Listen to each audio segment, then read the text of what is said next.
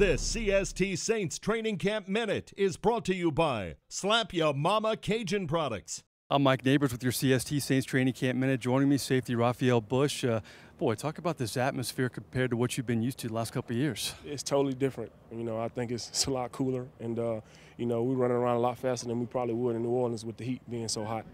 You've made a lot of plays so far. Just talk about your role and, and how good a camp you've had. I know it's early though. You know, well, I'm just trying to compete every day. I'm trying to get better at the little things and, uh, you know, being a vocal leader on this defense and just knowing my job and being aggressive. About all the talent you guys have at the safety position. I mean, uh, you can make a case you guys have as much as anybody in the NFL. We do have as much as anybody else in the NFL, no question about that.